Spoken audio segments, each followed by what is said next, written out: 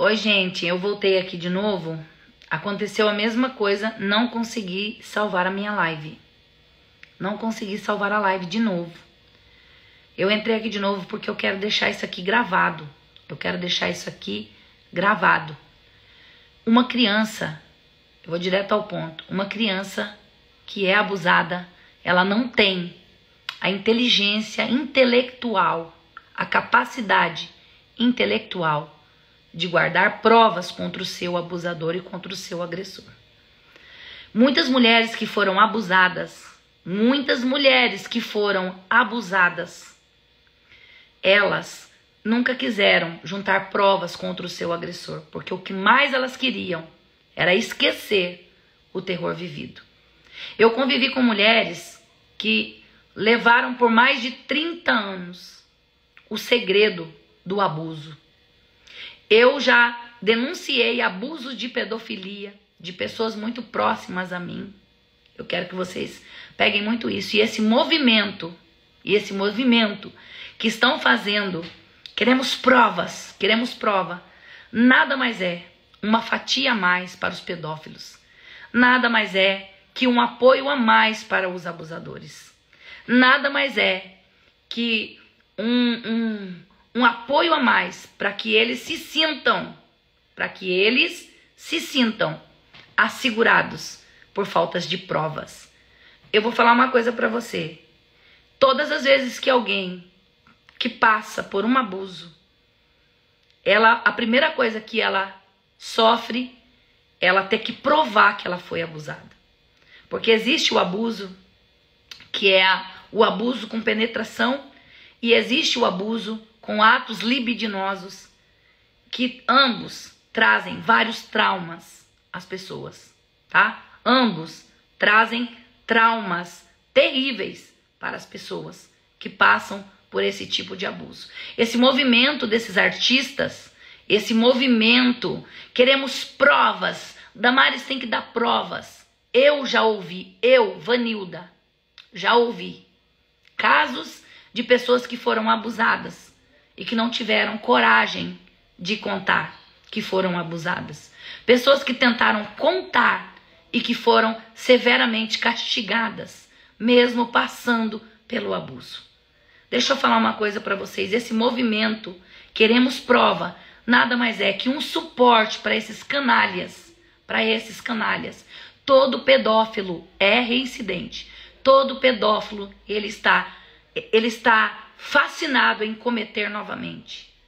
Eu acompanhei de perto, mas muito de perto, um caso de pedofilia que o pedófilo bateu palma na casa da criança, pediu para que a criança arrumasse uma corda, usou o nome da mãe da criança, disse que a mãe estava chamando que era para a criança acompanhar, abusou da criança sexualmente, abusou da criança, esfaqueou a criança. A criança, por uma por uma bênção de Deus, conseguiu se arrastar e chegar até uma casa e foi socorrida.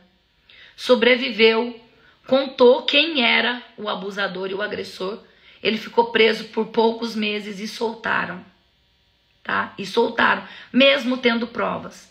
Aí eu falo para vocês, qual é o respaldo para uma pessoa abusada com toda essa campanha, dessa maldita, dessa maldita campanha que estão fazendo? Para quem acha que a pedofilia não existe, precisa viajar um pouco mais, vá, vá conhecer outros estados, outros países, outros lugares. Eu viajo para o Pará, eu escuto histórias de abuso das próprias mães.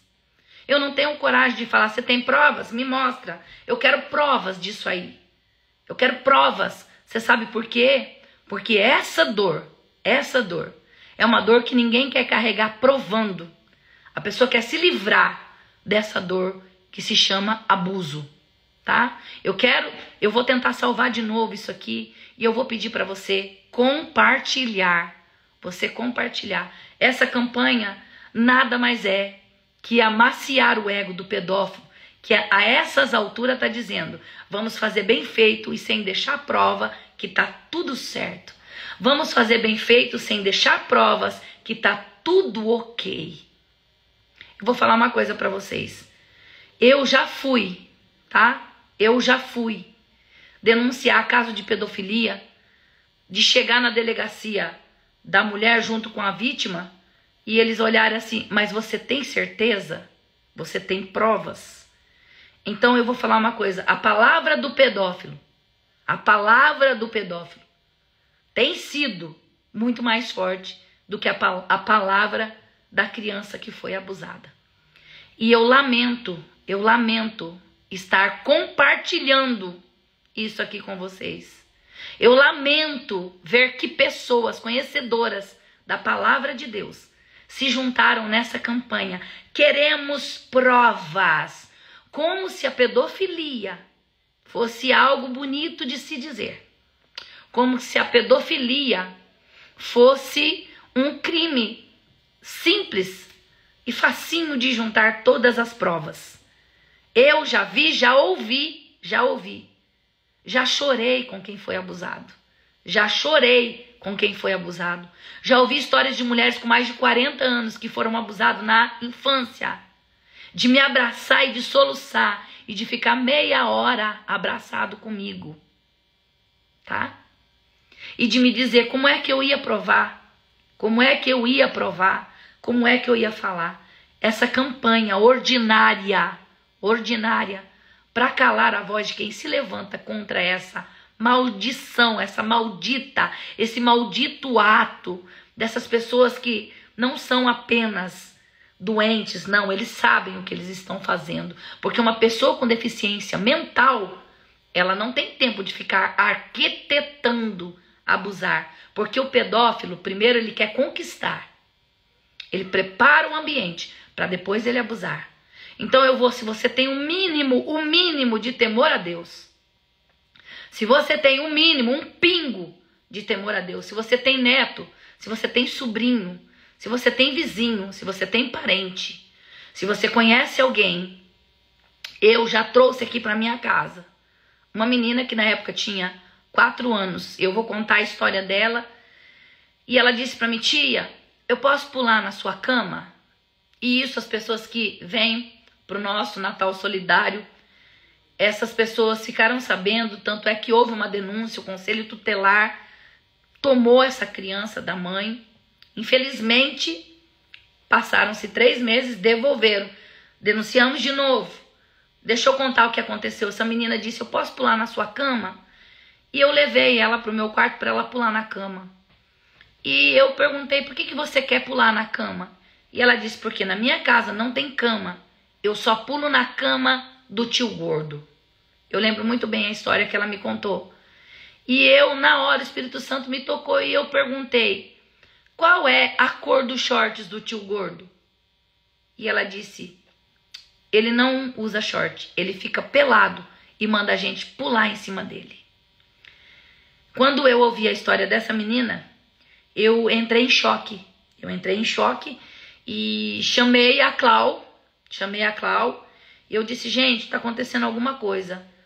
E quando a mãe, tá? E quando a mãe é, descobriu que era a gente que tinha denunciado, ela, a primeira vez o conselho tutelar pegou e depois ela sumiu com a menina, fugiu. Não tivemos mais notícia, porque o conselho tutelar, depois de três meses, acabou devolvendo. E fora os detalhes que a menina nos contou. Então, deixa eu falar uma coisa para vocês. Essa campanha de queremos provas nada mais é que uma armadilha satânica. Gente, eu falo com todo o temor de Deus do meu coração, com todo o temor da minha alma. Essa campanha de que Damares vai ter que provar uma pessoa abusada, ela não quer provar nada, ela quer se livrar da dor. E muitas pessoas se abrem sim com a gente, e eles se abrem com tanta dor que eles não têm prova para mostrar tá? Eles não têm prova para mostrar. Mas a realidade, ela existe, tá? A realidade existe, tá bom? Essa realidade existe. Não seja mais uma pessoa entrar nessa campanha. Por que você está falando isso, Vanilda? Porque eu estou vendo crentes, crentes com palavreado dizendo: Damares vai se ferrar, Damares vai se lascar, vai ter que provar os casos de abuso. O sangue de Jesus tem poder. Igreja, Vamos nos despertar? Vamos abrir os nossos olhos para essa realidade, tá? Eu não estou defendendo crente, não estou defendendo católico, não estou defendendo nada. Eu estou falando de algo que existe tanto na igreja evangélica, na igreja católica, né, é, nos bairros, no sítio, gente que não tem temor. A pedofilia é uma realidade no Brasil. A pedofilia é uma realidade. É uma realidade. E eu peço para vocês, em nome de Jesus, não entrem nessa campanha. Essa campanha nada mais é que respaldar esses monstros, tá? Que respaldar esses monstros, esses monstros. Vamos fazer, só não deixar prova que tá tudo certo. Vamos fazer porque não vai ter vídeo, não vai ter foto, não vai ter provas. Tá bom, gente? Eu vou falar isso para vocês. Que o Espírito Santo nos encha de sabedoria. Que o Espírito Santo nos encha de temor. Porque o temor do Senhor é o princípio da sabedoria. Não caia, não caia nessa armadilha do inimigo. Pense no seu neto, no seu filho, na criança da tua vizinha, nas crianças da igreja. Esse assunto é muito sério. E eu entrei aqui porque eu não posso me calar diante disso. Eu não posso me calar diante disso. Em nome de Jesus.